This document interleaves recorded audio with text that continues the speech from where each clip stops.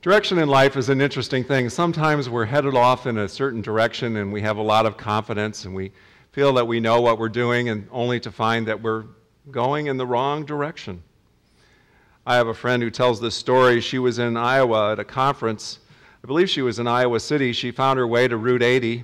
She was feeling really good about the conference, all that she'd learned, and she was thinking about it and deeply engaged in how she was going to apply it and everything. And she was just having a great old time on Route 80, which I think is hard to do, actually. And all of a sudden, she found, saw a sign for Nebraska. She'd been heading the wrong way. She went about six hours out of her way. Wow. It can happen to us. Sometimes we're just going off in the wrong direction. We have the best of intentions.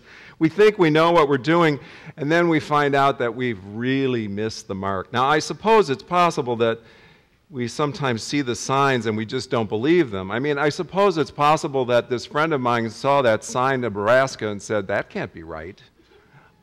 I'm going east. I don't know why they put that sign for Nebraska up there, and she could have kept going all the way to Colorado. Seen the sign for Colorado and said, That can't be right. No, sometimes we are stubborn. But redirection is the crux of the story today. This is what happened to King David in our story. David has reached the top. His life is coming together. He has a sense of direction and purpose. He knows who he is. And Eugene H. Peterson puts it this way everything is working for David. He has put the Philistines in their place. He has consolidated the country impressively. He has set up the new capital in Jerusalem. He has recaptured the Ark of the Covenant, brought it into Jerusalem. Everything is going well. Things are moving. It's a great time. And the chapter of 2 Samuel marks this theological center in the books of 1st and 2nd Samuel. Here, David is able to make use of the very important symbols of his faith, of his religion, the symbol of the Ark of the Covenant, and so on. But of course, the Ark of the Covenant was a symbol of God's presence during the time in which the people were wandering in the wilderness. Now they are settled. And what does it mean that God is with them in this setting? When they're not relying upon God each day to lead them as they had in the wilderness, when God led them by the pillar of cloud of light at night and, and the glory cloud during the day, and they depended upon God each and every step of the way to be led through this wilderness. Now they are settled.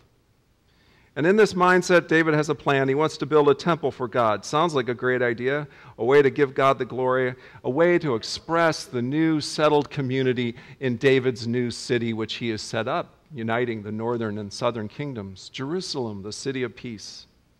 In some ways, it's a political move because the temple would solidify the sense of God's presence in the new capital, David's capital, David's city, the city of David, You remember.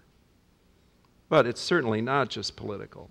David, in his enthusiasm and zeal, wants to honor God. He wants to do something beautiful for God. He wants to express his devotion to God.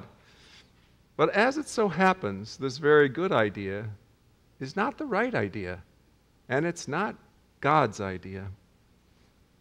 It happens to us a lot. We have our plans, we have so many good things in mind, and sometimes the many good things that we're doing get in the way of the best thing or the right thing or what God has for us. We discover that God has another purpose altogether, and this is our story. David is pretty sure he has it right. I mean, what could be wrong with building a temple to solidify the faith in the new city? So he calls in the prophet, and the prophet Nathan says, Great idea, let's build the temple. And that night, Nathan has the dream, as we heard in the scriptures, and receives a message from God. And God says, Have I ever asked for a house? Has that been a request that I have made? Do I want a temple?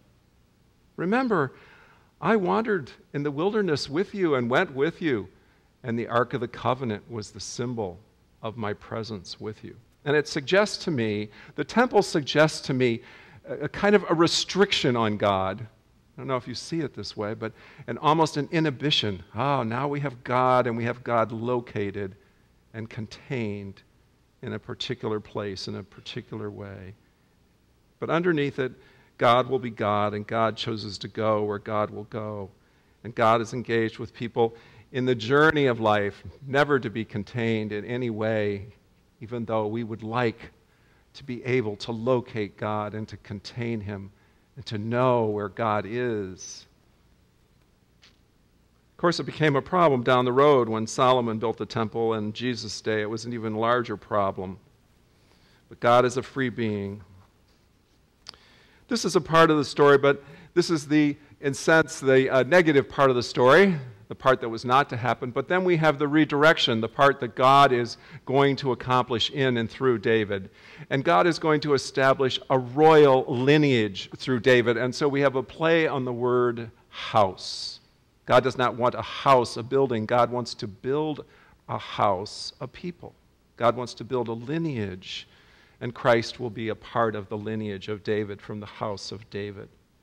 Uh, first, David needs to be reminded of who he is before God can do anything with him. Before he can, before he can realize the grander plan, he needs to, to be humbled. He needs to get off his high horse, in a sense. And so, God, through Nathan, reminds David that he was just a shepherd boy and God pulled him out of that station, and God guided him each and every step along the way and helped him during the years in which he wandered in the wilderness. And God has established him as king and brought him through the days of the war with the Philistines and all of that. God has been working in David's life. Perhaps David couldn't see it. I mean, during so many days of his life, if you read the book of 1 Samuel, it's, it's pretty much one disaster after another I mean, he's living in the house of Saul, who's basically, the first king of Israel was basically a crazy man. David's living with a crazy man in this crazy house. And then he's, he's hunted down by Saul's army for years, some say nine years. So he's hunted down by this crazy man. He's supposedly the anointed, but for 15 years he's just subjected to the first king of Israel, Saul. It seems perhaps to David that he's been abandoned. But now David is doing well. He says, I live in a house of cedar, and God lives in a tent. Oh, right, David. Poor God. Poor God lives in a tent. You know, the Bible says, the earth is the Lord's and the fullness thereof. The skies are his canopy. Oh, yeah, God lives in a tent. Sure, David. Good argument. David is getting a little swelled up. God does not live in a tent. David is just about to cross the line from being full of God to full of himself.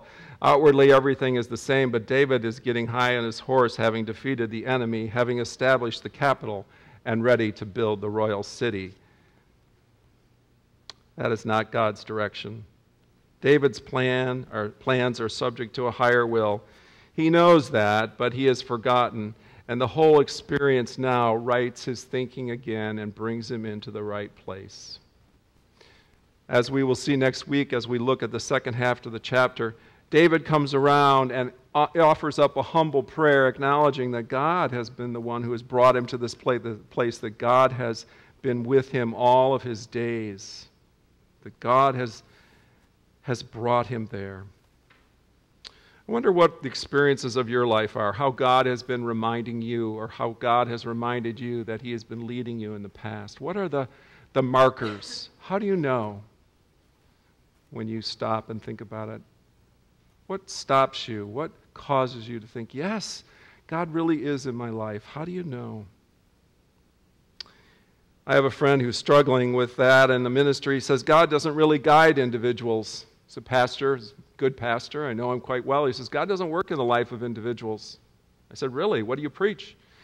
He says, Well, God just works in communities, not in individuals. So I never talk about individual guidance with regard to individuals. So I said, That's too bad. And I worry about him a little bit.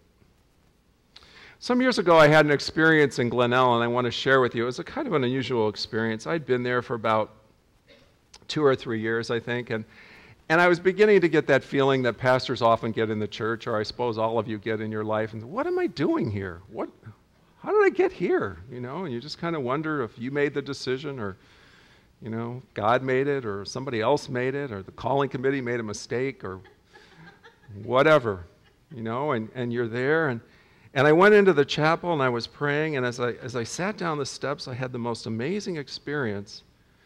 And I, as I sat in the steps of the chapel, which was the original sanctuary of that church, and I sat there and I remembered a time 15 years before where I had sat in that exact same spot.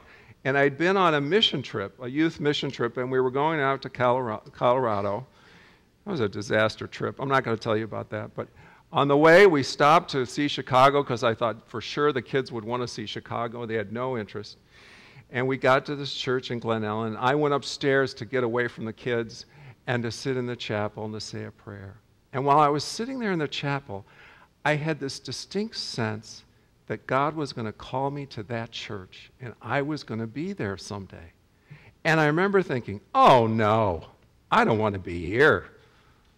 I don't like it here. I certainly hope this isn't the voice of the Lord. 15 years later, I'm sitting in the same spot, not having remembered that all these years, and the memory comes back to me as distinctly as you can imagine.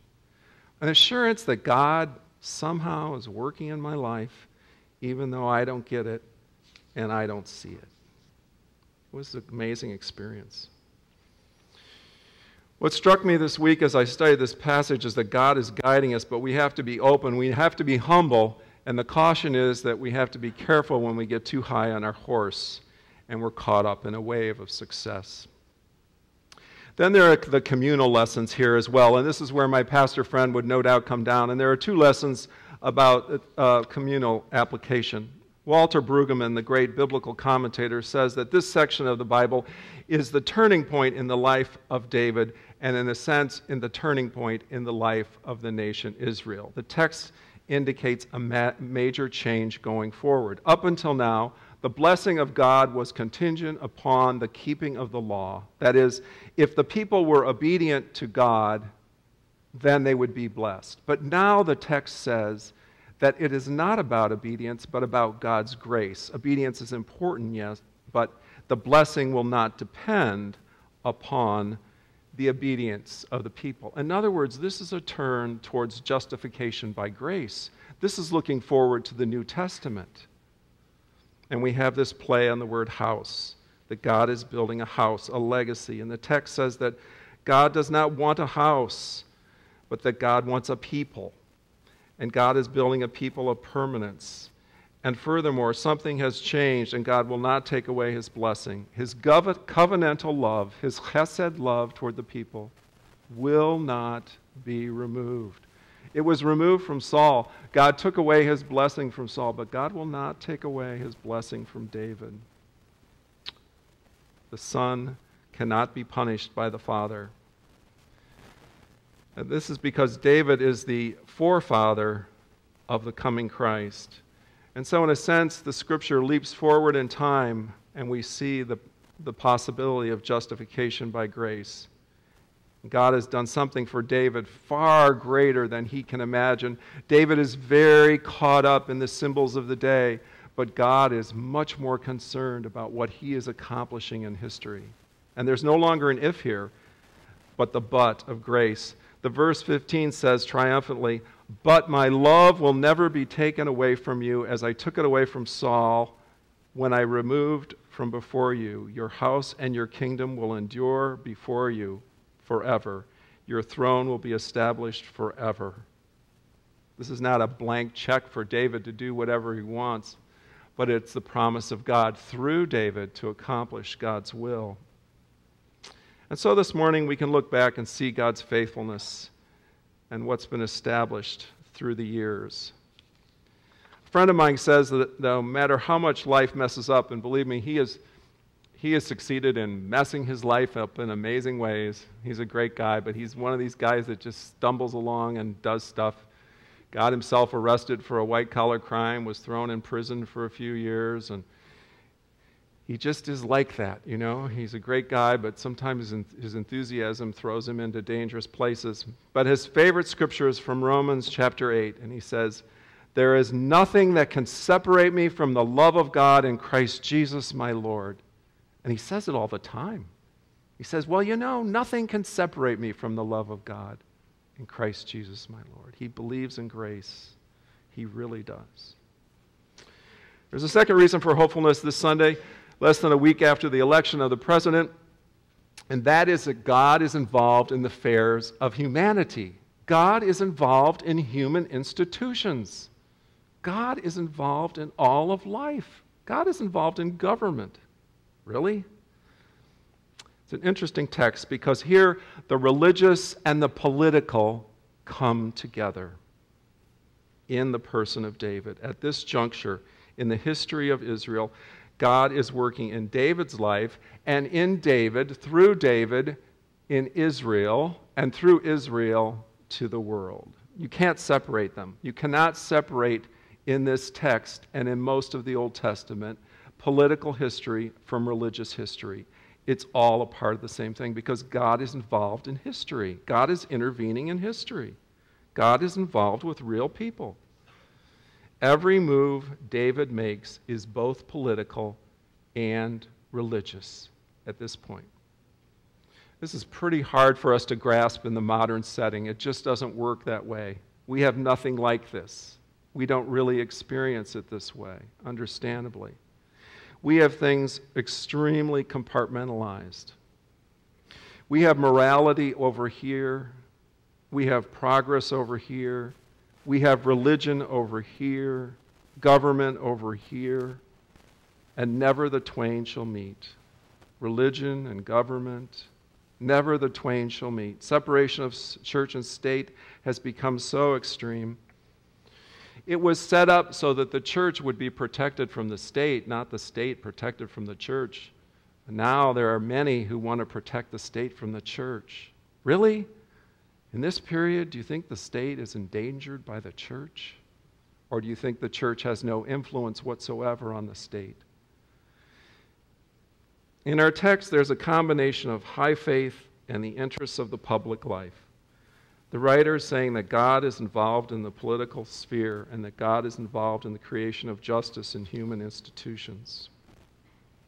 It's hard for us to imagine in the modern world because we face this huge separation. But here it is in biblical history the example of God's purposes working in the historical situation, and David establishing the capital, and these things I've talked about, in the bringing in the Ark of the Covenant and all of these things in the text, working through David, setting up Jerusalem as the new city. And so it brings me to these reflections. I'm not very politically astute, uh, so I step out somewhat hesitantly. But why not? I'm an interim pastor, right? oh, that was a cop out. But it reminds me of my sister Susan once when my grandmother came and she said, Susan, you're so astute. And she said, I am not a stoop. So I don't want to be a stoop. But rather, I have a hope. And my first hope is that to reiterate that of David Brooks, the consultant for the NewsHour on PBS. And David Brooks this week said, We all need to take pause. You know, the media has been rather inflated uh, over the last year, and uh, they appear to know what they're talking about, and they certainly analyze things to death. But they have been humbled. They have been humbled. It's an opportunity for all of us to take pause and ask, what is the American, what are the American people wanting? What is really being said? Maybe difficult to know, but certainly take pause and say a prayer. Secondly, the compartmentalization of the political conversation needs to stop and gets us into huge trouble. We need to see the interrelation of things. It's a big country, and there are reasons for why we are where we are, why we're here. History has brought us here. We're grounded in history but there's wisdom and there's moral judgment and there's the possibility for humility. It's my hope that people will begin to think in politics again and their thinking will be comprehensive and comprehensible and they'll have a vision and not just sound bites. You know, we get a lot of jabs. It's like a boxing match this year, right? Jab, jab, jab, jab, gotcha, gotcha. Where's the vision? Where's the depth? Where's the wisdom? Where's the understanding? Where's the desire for the public good? And where's the Christian voice? You know, it's going to be very easy for the church to say, oh, how sad. It's so sad we can't do anything. It's so sad we're left out of this. Or we can try to be more involved, and we can invite the younger generation to be more involved. I think it's possible that the younger generation will be more involved. I think the younger ge- generation is going to need to be more involved. I mean, we have an increasingly secular society. If the younger generation is not more involved, bringing Christian values to the, to the political realm and to the greater picture in this country, then, then where will we be? We'll just be more secular. We need young people who are encouraged to be involved in politics. So if you're under 25, that's you. We need you to be in politics. This isn't the voice of God, but we really do need you. Leadership that models wisdom gleaned from history and reason. We're not Israel. The kingdom of God is not going to come through the United States of America. The kingdom of God is not going to come through America. We are not a Christian nation. However, we have the Word of God. We've received wisdom. We've learned through the ages. We have a great deal to offer. Perhaps the separation of church and state has gone too far, and the church no longer has a voice among politicians. I hope that is not so. Because we are in need of leadership in this country, and we are in need of leadership badly. Let us pray. Lord, we thank you for your love, and we thank you for your covenantal love, which does not desert us or abandon us at any time, and that through Christ our Lord we can stand on a confident and firm foundation, knowing your salvation, that we are justified by grace through faith because we have come to faith in Jesus Christ our Lord. You will never abandon us or leave us, and we cannot be separated from the love of God. We stand firm on that. We pray in Christ's name. Amen.